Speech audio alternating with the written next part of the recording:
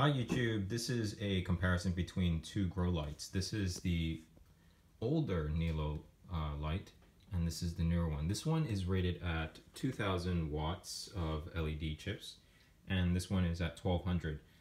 When you see those numbers, I would recommend ignoring those completely because it doesn't really help you in terms of shopping.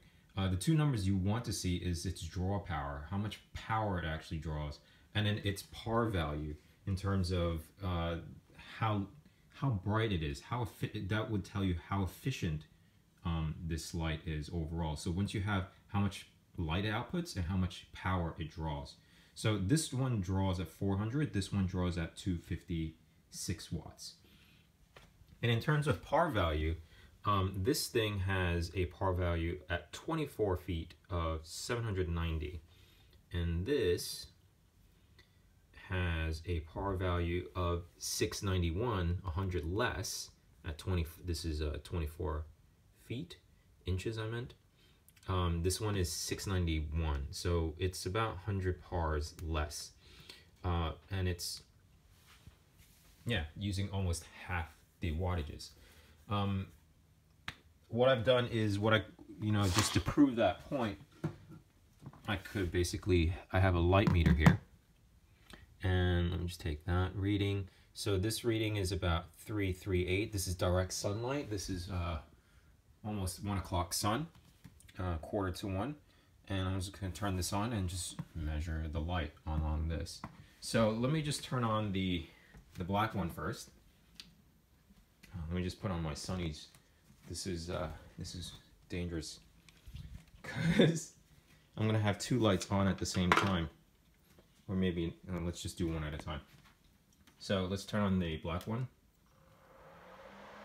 You can hear the two fans roaring. And then I have a light meter on this.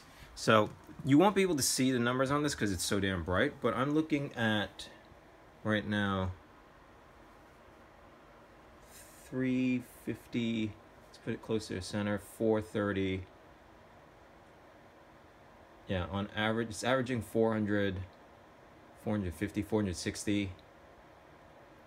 Yeah, now it's going, it's it goes between 430, 460.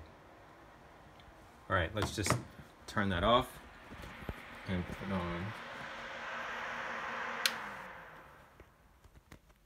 Sorry, my cat is very sensitive to light and he wants to run away. So, so let me just open the door for him. Uh, he's actually moved on. Okay, so I'm gonna turn on the other one. This one's a lot quieter. And let's just put the lux meter on this. And this is measuring it, hitting at 900. This is hitting at 900. And how it's doing that, so you can see that, it has these 10 watt bulbs, which is the same as these little bulbs here, but it puts a 20 watt white light here to make it more efficient. And overall, it produces a higher amount of output. So the real test is to put it against the plants, but that would take probably a couple of weeks to do this. Um, but overall, in theory, this should produce uh, faster growth if, yeah, the plant is uh, susceptible to that particular light. If we were to look at the color rating, so this is the 2000 and this is the report. So it only has the report of 600 unfortunately, but um, if you look at their spectrums, they're all this, they're roughly the same. They have both blue and red. All right, I hope you enjoyed this review. So overall, they're newer lamps. Of course, are more efficient, but this comes with a price. This is priced at 200 pounds, and this is around 100 and 180, 170, around that. Okay.